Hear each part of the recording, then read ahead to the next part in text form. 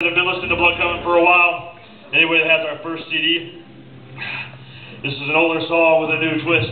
This is the Kiss of Akaru.